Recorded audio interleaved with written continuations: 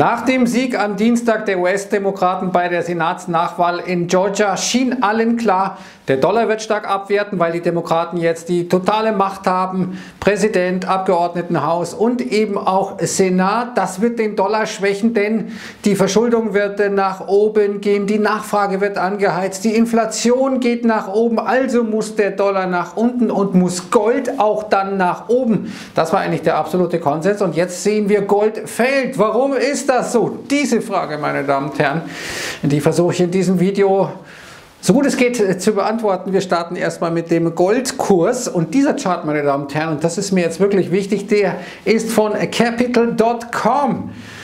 Ich habe es vermisst, äh, das mal wieder anführen zu können, aber jetzt habe ich die Gelegenheit ergriffen. Wir sehen der Goldpreis jetzt um und bei 100 Dollarchen gefallen seit äh, dem Hochpunkt, kurz eben nach den Ergebnissen, die aus Georgia gekommen waren. Was ist da los? Eigentlich doch dieses Inflationsszenario nach wie vor intakt an den Märkten. Alle spielen das, alle denken, ja, die Inflation wird anziehen. Also ist doch Gold eigentlich normalerweise unterstützt, weil Gold ja der perfekte Inflationshedge doch eigentlich ist. Aber es gibt da eben dieses kleine Aber und das möchte ich Ihnen jetzt gleich mal zeigen. Wir haben nämlich jetzt die Situation, dass die Renditen für US-Staatsanleihen steigen.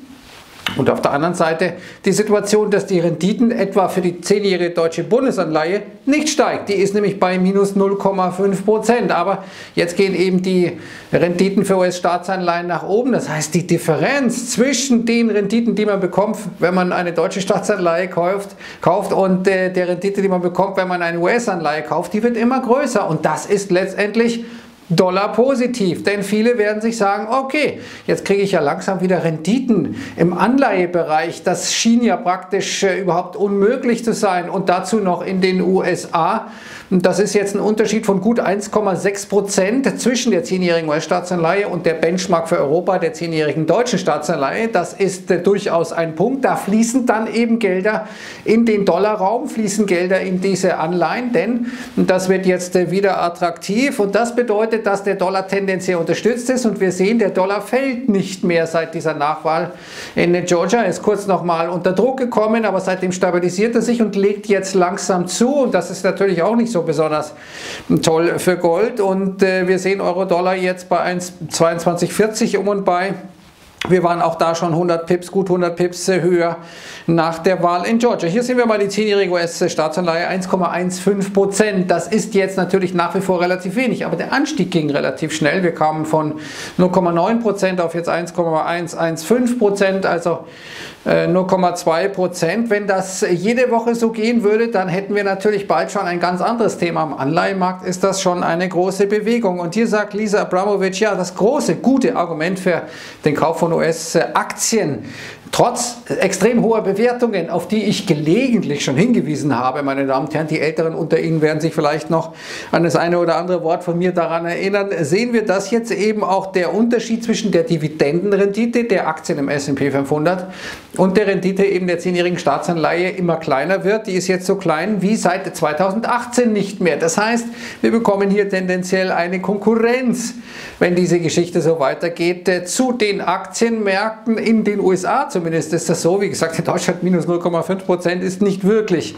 eine echte Konkurrenz. Und wir haben einen wirklich anständigen, ehrlichen Notenbanker in den USA. Das ist Robert Kaplan von der Dallas Fed der äh, hier im Dezember gesagt hat, ich mache mir Sorgen, dass unsere Anleihekäufe letztendlich dazu führen, die Preisfindung zu zerstören, distorting impact on price discovery, dass äh, dadurch äh, exzessives Risk-Taking ermöglicht wird, also die, das Eingehen exzessiver Risiken.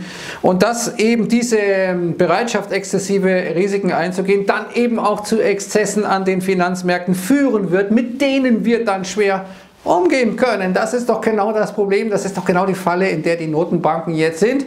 Sie wollen die Welt retten und schaffen dadurch Blasen, schaffen dadurch äh, eine Situation, äh, die sie perspektivisch nicht mehr kontrollieren können. Je größer diese Bubbles werden, umso schwieriger ist das zu handhaben, umso äh, katastrophaler wird die Situation für die Notenbanken, denn sie sind dann ständig getriebene äh, ihre eigenen Entscheidungen, haben sozusagen immer Druck, müssen den Finanzmärkten noch mehr geben, noch mehr geben. Und äh, je mehr sie geben, umso geringer der Wirkungsgrad, den sie damit erreichen. Denn es ist äh, so, wenn man einen Chart sieht, wie viel Dollars aufzuwenden sind, etwa um ein Dollar Wachstum zu erzielen, dann sind es derzeit 7 Dollar. Tendenz weiter steigend. Das heißt, wir haben einen immer geringeren Wirkungsgrad der Aktionen der Notenbanken. Und das ist genau das Problem. Gleichzeitig schaffen sie damit Exzesse und Exzesse sind normalerweise nicht so gelagert, dass sie sich dann langsam und ruhig abbauen, sondern dann macht es richtig Rums.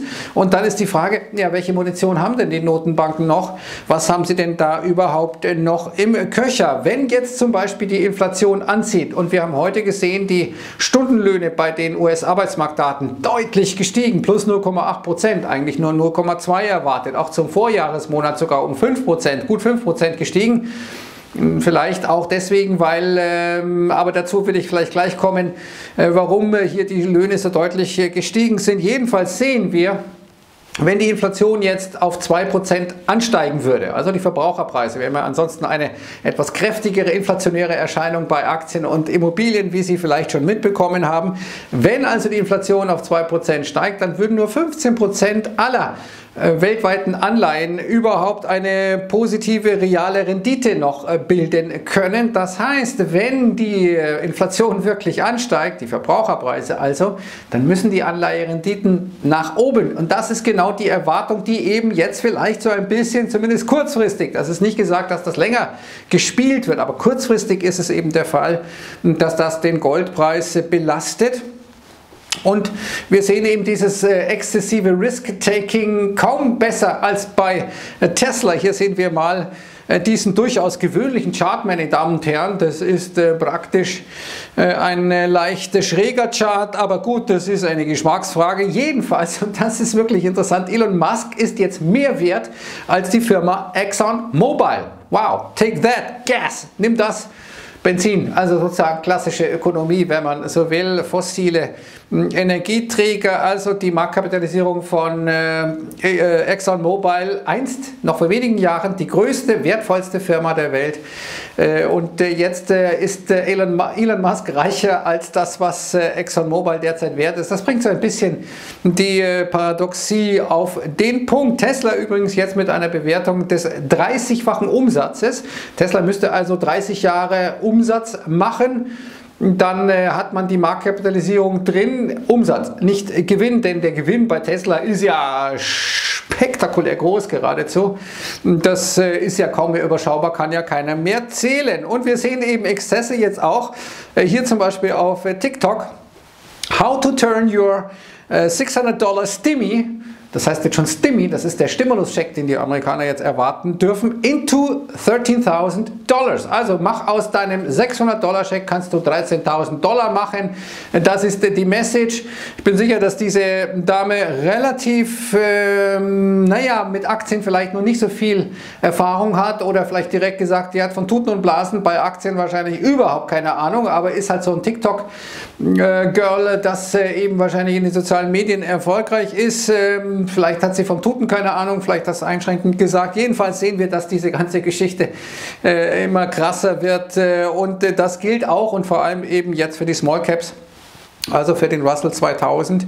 Äh, hier sind äh, die meisten Unternehmen überhaupt nicht in der Lage, überhaupt Gewinn zu erzielen. Dazu sind sie extrem Schulden gehebelt. Das ist praktisch der Zombie-Index und dieser Zombie-Index ist am stärksten gestiegen von allen seit dieser Geschichte mit dem Impfstoff am 9. November. Heute allerdings nicht so stark wie etwa andere Indizes, aber sei es drum, es ist sozusagen geradezu typisch, dass eben diese Junk-Geschichten jetzt steigen. Ich hatte gestern auch gesagt, dass die Junk-Bond-Renditen, also die Renditen, die Risikoprämien für Schrottanleihen auf ein neues Allzeittief gefallen sind. Also für jene Anleihen, die eigentlich Profi-Investoren gar nicht kaufen können, weil sie auf Junk gestellt sind. Und wir haben jetzt auch eine sehr bullische Stimmung, auch in den USA. Das war ja lange anders. Jetzt sehen wir AAII Sentiment äh, Umfrage, äh, da sagen sehr, sehr viele, wir sind extrem bullish. Schauen wir uns mal den 9-Week Average an, also den 9 Wochen äh, Durchschnitt, dann sehen wir, das ist äh, massiv nach oben gegangen und hier sagt Troy Bombardier, dass in den letzten 20 Jahren in 11 äh, von 12 Fällen, als diese Kurve so steil nach oben ging, dann der S&P 500 gefallen ist in den nächsten ein, zwei Wochen. Natürlich diesmal nicht, meine Damen und Herren, Aktien fallen ja nicht mehr. Das ist ja das, was wir inzwischen gelernt haben. Und schauen wir uns mal dieses Investor-Sentiment an. 54% der befragten amerikanischen Privatinvestoren sind bullish. Historischer Durchschnitt ist so 38, also das sind schon sehr, sehr hohe Werte. Dagegen, wenn wir uns unten mal, ich hoffe, Sie können das sehen, hier die ähm, Geschichte bei den deutschen institutionellen Investoren anschauen, dann sehen wir, das sind nur 25% bullish und 41% bearish. Also die deutschen Instis, die sind äh, da relativ skeptisch, die deutschen Privatanleger sind optimistischer, das sind immerhin 44% äh, noch auf der Bullenseite. Und hier dann heute die Aussage der Bank of America, wenn man sich Bitcoin anschaut in, letzten, in den letzten zwei Jahren, dann könnte das praktisch alle vorherigen Bubbles, die es gab, übertreffen in den letzten Jahrzehnten. Das halte ich natürlich für total falsch. Ja, Sie wissen, dass ich einer der glühendsten Gläubiger der Glaubensgemeinschaft Bitcoin bin. Dementsprechend ist das natürlich nur Negativpropaganda der Bank of America. Sie werden dafür in der Hölle schmoren, meine Damen und Herren. Das scheint mir sicher zu sein. Und äh, wir haben heute, jetzt komme ich auf diese Arbeitsmarktdaten, die ich vorhin schon mal angesprochen hatte, sehr, sehr schwache Arbeitsmarktdaten, minus 140.000.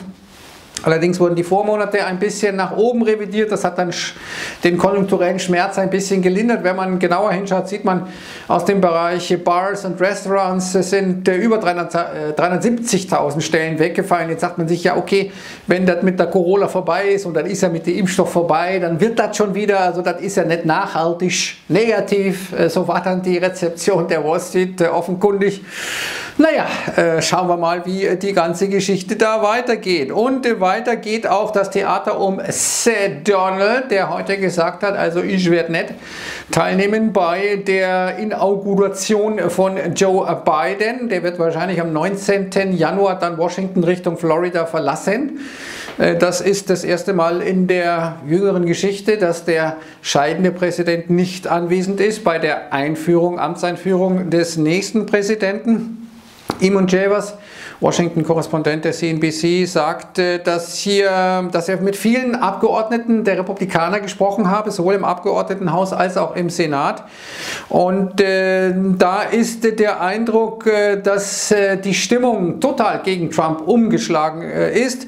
Everyone is just tired of Trump and afraid of what he might do next. Also man hat Angst, dass er noch irgendwie äh, irgendwas anrichtet, äh, sozusagen. Und Mackie Haberman äh, sagt, okay, die Demokraten werden jetzt noch versuchen, ihn zu impeachen, macht natürlich relativ wenig Sinn. Und das ist äh, angesichts der Tatsache, dass er jetzt nur noch bis zum 20. Januar im Amt ist. Aber es ist nur eben diese kurze Zeit, dadurch, dass er wirklich jetzt ja dann abtreten muss, äh, dass das Impeachment-Verfahren verhindert, dass auch dann durch eine Mehrheit der Republikaner unterstützt werden würde. Also es ist so, dass Donald Trump äh, jetzt ein Stück weit von den meisten Funktionsträgern der Republikaner praktisch geächtet ist. Das wird bedeuten, dass er dann für die Republikaner wahrscheinlich nicht mehr als Kanzler, äh, Kanzlerkandidat, wollte ich schon sagen, Präsidentschaftskandidat äh, wird antreten können. Ich halte die Wahrscheinlichkeit für hoch, dass Donald Trump mit einem eigenen Fernsehsender dann agitieren wird und möglicherweise eine eigene Partei gründen wird.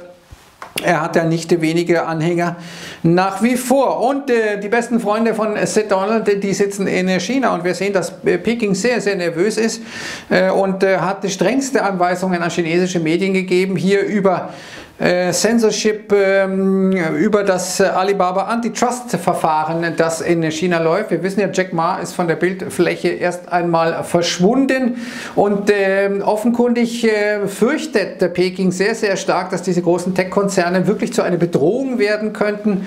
dementsprechend äh, hat man hier die Zügel nochmal deutlich angezogen und dann abschließend noch in Sachen Corona heute London hier hat der Bürgermeister gesagt, dass man äh, eine massive Krise habe jetzt äh, in London, dass ähm, einer von 30 Corona habe in London, also jeder 30. Äh, das sind also mehr als 3% aller äh, Bewohner in London und ähm, dass jetzt die ähm, Hospitalisierungen 35 Prozent über dem Hochpunkt im April lagen. Wir haben äh, auch aus den USA ja katastrophale Daten bekommen, über 4000 Tote, in Deutschland über 1000 äh, Tote. Also da ist natürlich doch der Busch ein bisschen am Brennen und die Frage ist, wie schnell kommt diese Vakzin dann wirklich in den Umlauf, dass wirklich nennenswerte Teile der Bevölkerung geimpft sind. In allen Ländern gibt es da. Schwierigkeiten. In den USA ist die Kritik sehr groß. In Frankreich vor allem ist sie besonders groß. Die Franzosen haben kaum bisher impfen können. Macron steht da sehr, sehr unter Druck. In Deutschland